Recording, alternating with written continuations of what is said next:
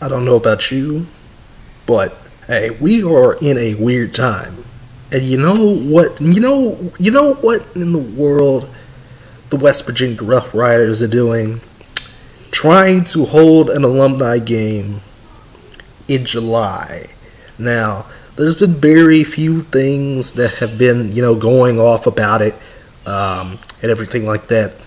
But the few pieces of information that I do have from it, um, you know, they, you know, they got their Facebook up, um, and it was yesterday when they announced they were going to do an alumni game.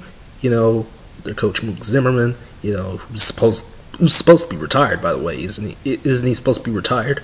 You know, and you know, Gregg Fornario and company, you know, they they decided, hey, we're gonna do this anyway. We're gonna do we're gonna do a um, alumni game, an alumni exhibition game, and you know maybe get a couple more home games out here, July and June and August, you know, and stuff like that.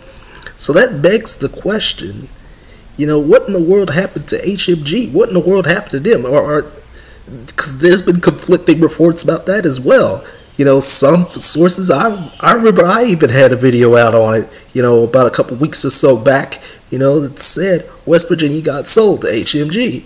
So what in the world's going on there as far as you know who, in the world owns the team right now? And, and, and, you know, I've seen all sorts of stuff, you know, about how Greg Bernard is a con man, you know, you know, so like from one guy, from one guy in particular, and that page knows who he is. You know, hopefully he doesn't call me out on it because I mean, I, only only check to see, you know, to get some information, to get some sources from this guy. You know, um, but he knows who he is. Um, who called he called Rick Fnord a bunch of names. You know, and, you know, it, it does beg the question is this a cash grab? Is this something? Because remember, West Virginia was supposed to go dormant for 2021. That means nothing, not playing, nothing at all. So it begs the question, you know, what is the purpose of this alumni game? Because they are selling tickets right now, as as right now as we speak, um, a limited number of tickets though. Uh, but it begs the question what in the world is going on with West Virginia?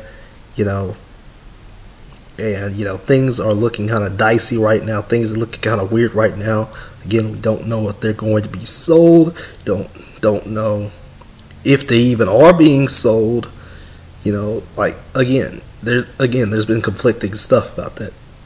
Have they been sold to HMG and company, Will Hanna and all those guys out there that own the Baltimore Lightning? or it, it was that uh, a complete piece of you know garbage article you know that was announced. So I don't I don't know I don't I really don't know what in the world's going on there, but I will say this is a awful idea. Again, I've been adamant about you know indoor football not starting up this year and waiting until 2022. But we're gonna we're apparently just gonna do it anyway. We're gonna try it anyway. And because, I mean, trying to do indoor football in a climate such as COVID 19 is about as disastrous as you might think. You think there's going to be no fans now. There really isn't. There, there literally isn't going to be any fans. Nobody from, no money from that. Not at all. But yeah, that'll that'll pretty much do it here.